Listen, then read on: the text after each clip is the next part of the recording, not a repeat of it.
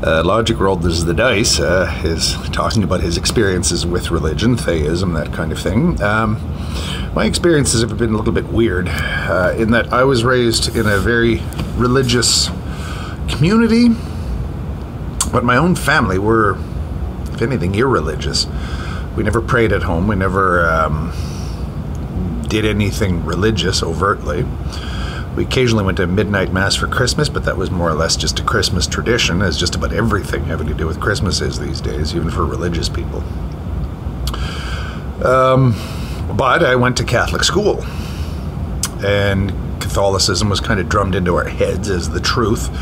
But at least in my mind, it was something that was sort of I guess I would say it was true. Religion was true, and you know when I did believe it, what they had to say, but it didn't seem, at least at the beginning, terribly relevant. Religion was something you did when you were at school. Um, beyond that, it didn't really have any reality to me. but I assumed that everything that they taught was true. But I hadn't really thought through the implications of all of this. It's just okay, if you're good, you go to heaven. If you're bad, you go to hell. There's good and bad people. Um, you know, there's good and bad everything. Uh, there's the devil and God, and God is wonderful, the devil is horrible. Now, I believed all of that stuff, but I didn't believe it in the same way that, say, somebody who went to church every Sunday and was instructed religiously at home. Um, I just assumed that it was a fact that didn't particularly interest me. Um, you know, okay, I just have to do the minimum possible to avoid hell, and that's about it. Um, but later on, I started to question everything. My parents had no answers.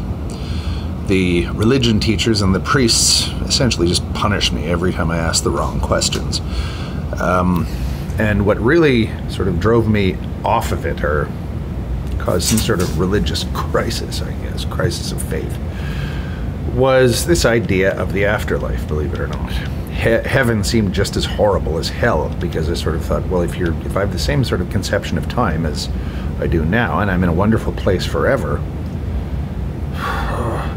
forever, like that, you know, it's like Nietzsche thinking about his own sort of Frankenstein monster slash um, Pygmalion. Um, it may have been a beauty and it may have been terrible, his eternal recurrence. Uh, you're sort of okay with the idea, and it's actually wonderful when you think about it in a certain way, but when you think about the eternity of it all, it's pretty terrifying. And that was what started me questioning my faith. If it really ever was faith, uh, what I would call it was probably some sort of a species of knowledge that I just sort of took it all for granted and said that's the way the universe is, and I'm not going to worry about that. You know, it just seems to be a no-brainer. I, I, I have to avoid hell, but that's about it.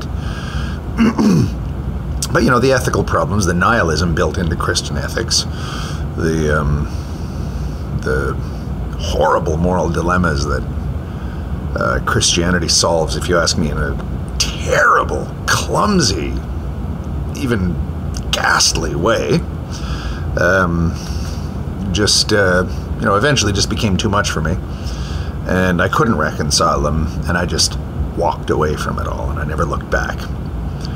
Um, my wife is a practicing Christian. She doesn't seem to have any of that stuff inside of her. She's, you know, again, Filipino Christianity is quite different from the variant that you'll see elsewhere.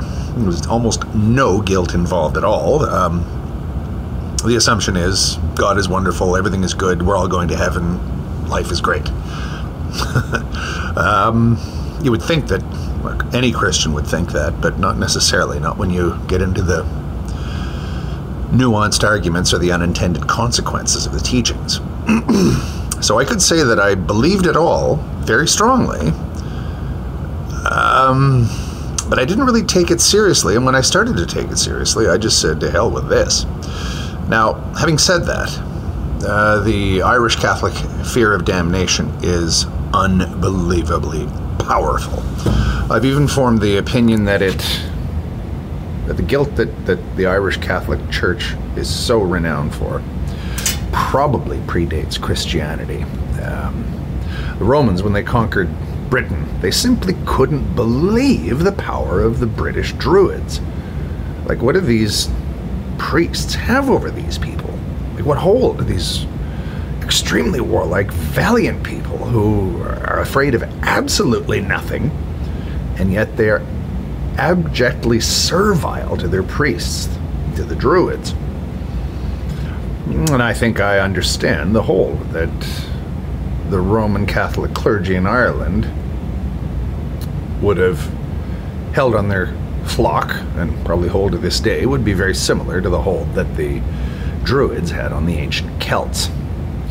Um, to the point where the Romans just decided that they the only way to control Britain was to kill off every single Druid, which I believe that they did. Um, They, they, they believed that the Druids were what were what was made, were making Britain ungovernable.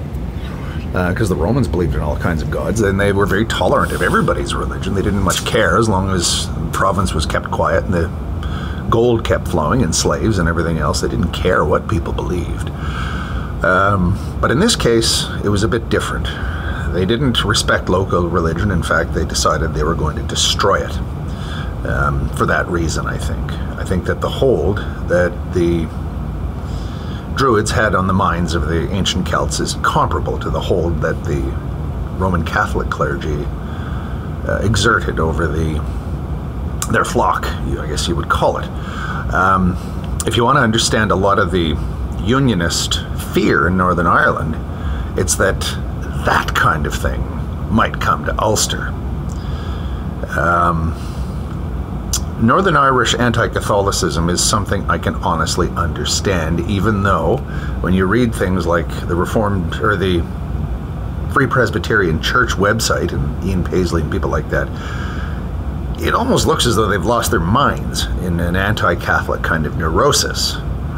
But when you look at it through their eyes and through their historical perspective, I can see how someone would actually form the opinion that Irish Catholicism is an anathema. It's a, it's it's a totally horrible thing that robs people of their independence, robs people of their uh, sense of self respect, sense of dignity, everything. Because no matter what the priests would do, no matter how poor the people were in Ireland, they were slavishly obedient to the priests.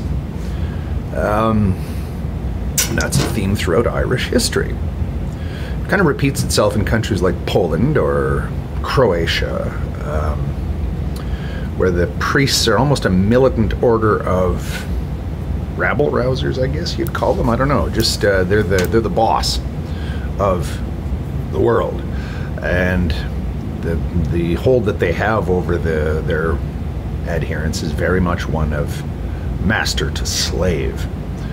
Uh, and, you know, they're almost the epitome of the ascetic priest that Nietzsche attacks so severely in, on the genealogy of morals. I didn't see any of this. I didn't grasp any of this, uh, at least not in the way that a lot of people did. But I just sort of thought, well, these priests know what they're talking about, so I, I'll just defer to them. I was never abused by any Roman Catholic clergy. Uh, I never had any terribly negative experiences with them, and my break with the church had nothing to do with that. It had more to do with, as I say, just ruminating on what it all meant. Uh, the fact that um, my mother died an atheist, um, and her last contact with the Catholic Church was a nun telling her, "Okay, you're dying of cancer now. You'd better cleanse your soul, or you're going to fucking hell forever." And I don't know, I guess it being my mother, if I had, if I'd been present in the room when that took place, I might have assaulted the nun. Um, the protective nature of an Irish son towards his mother is renowned as well, and I seem to have inherited that. But um, as I say, I I had the idea at that point, uh, and for many years afterwards, uh, not just that I didn't believe in Catholicism, but I thought that you know the clergy were actually bad, uh, that the clergy were an evil force in the world, the Roman Catholic clergy. Although I, you know, that got mitigated later on because I sort of met some decent enough clergy and some decent enough people, and, and I visited countries where the Catholic Church is more or less a reasonably positive force. Like if you go to Latin America, it's they're not. A guilt is very rarely resorted to, and uh, the priests are more your friend than your boss. They run all the social programs that are to be had in most of Latin America, and they're generally very close to their flocks, which in the European tradition, or not so much the Italian tradition, but say in the Northern European tradition, the priest is somebody who's very remote from you. Not like that in Latin America at all, especially the lower clergy, like the, the friars or Christian brothers or whatever. They're usually just drawn from exactly the same class as the, the people that they're serving, and usually they've got a girlfriend on the side, which their flock will ignore. Uh, that kind of thing. Um, so yeah, I you know I would look at that and I'd say, okay, maybe Catholicism isn't a totally horrid thing, but just the implications I think are the same the world over when it comes to Christianity, and I I, I can't see it any other way than the way Nietzsche sees it. Um, having said that, it all depends on the effect that it has on you. It doesn't have a negative effect on my wife at all. My wife just doesn't think about it to her, religion is something you experience. It's not something that you talk about or analyze or anything like that. It's a, it's an atavistic thing. Um, so I don't, you know, I, I sit sort of respectfully through Grace every time she says it. She often forgets. You know, I don't pray along. She knows darn well not to ask me to do that. But yeah, I, uh, I'm willing to tolerate it. Um, but it's an interesting thing eh, where, where you can actually believe all of it, but not take it seriously to heart until you actually sit and think about it. And then that causes a crisis of faith. Um, faith that never really was there in the beginning, I guess, and uh, it basically disappeared once I decided to try and analyze it.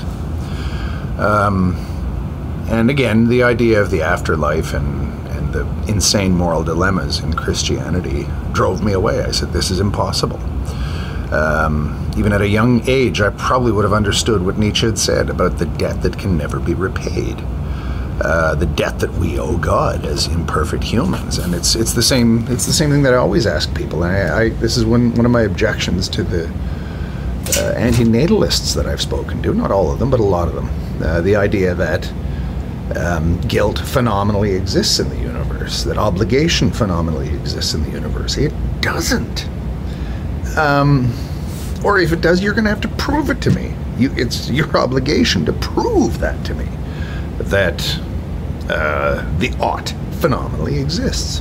And then, and then, even if you do sort of raise heaven and earth to, uh, bad metaphor, to prove it to me, I'm going to say, why did you have to explain all that to me? Why, why shouldn't I just know that automatically? Like the same way that I sort of know that in you know the floor is under my feet right now. Why don't I just know that that obligation exists? Um, there's no answer to that, of course. Uh, it's just, uh, the, you know, you, the argument gets switched over when, when you start questioning that. People just sort of, the people that are defending that point of view just sort of um, switch around. They sort of turn the tables on you and say, you mustn't ask questions like that, that's forbidden. You know, this is um, this is precisely the tendency that has resulted in the resurgence of uh, militant Islam, if you ask me. It has nothing to do with the Muslim religion in and of itself. It just has to do with um, the fact that uh, the blasphemy laws and the blasphemy culture in the Islamic world prevents people from asking the appropriate questions about their faith. Um, so they're unequipped for the big questions because they've had that sort of inner blind spot inculcated in them, and it's an outer blind spot as well because you're in trouble the second that you say anything that might rock the boat in most Islamic societies. Uh, they, you know, they, there's reasonable freedom of speech in all of them, believe it or not, but uh, for certain things, absolutely no. You cannot question things on a fundamental level ever. You can't question anything on a fundamental level there um, or else you'll get arrested. And the blasphemy laws will, you know, get you for just about anything that you've done that has rocked the boat. um, so, you know, I grew up in a society that didn't have blasphemy laws. I, uh, there was a blasphemy culture that I grew up in, but you know, it's easy enough to overcome in Canada where most people are irreligious, or even people that go to church generally, it's not something all that serious. Um, but um, I can see how an inability to question things, even if it's something that's inculcated into you, could stunt your ability to get out of that box, to get out of that religious box. Um, Orwell's term for it was crime think, thought crime, or no, sorry, crime stop, where you have just this idea or this mechanism implanted in your brain that you're, you know, metaphorically speaking, that just keeps you from thinking along certain lines. And I think that a lot of religious people have that. You just don't go there. That's forbidden. That is haram. That is. Um, you know, we, we just don't go there with, with those thoughts. That's where Satan is. Um, so, yeah, I uh, I abandoned the religion very early in my adult life, I guess. Um, the ethics kept with me though afterwards, even though I didn't realize it. Um, and uh, Christian ethics are not quite so easy to get around, especially when you come from a society where the entire thrust of ethics is religious in origin. But again, you you think it through and you, you deal with the with the um, implications of it all as bravely as you can, and you know you go on. You you you, you just uh, keep at it until you've more or less worked it out in your head. And um, my philo- my discovery of Eastern philosophy actually helped de-Christianize me. And I've never been in any danger of actually embracing any of the Eastern philosophies, although I wear an om around my neck and I have, uh, you know, I do Eastern meditation and everything, know. Um, but you know, I could even be convinced to sort of um, use the image of a god in meditation in the way that the Hindus will do it. And a lot of Hindus will tell you, I don't believe in the god that I worship. What? yeah, but he he he exists for me or she or whatever exists for me because it's a necessary part of my life. But if nobody else believes in that God, it's irrelevant to me. Yeah, that's the way Hindus think actually about their gods, um, which is why I don't think that atheism or skepticism is likely to make any great inroads among.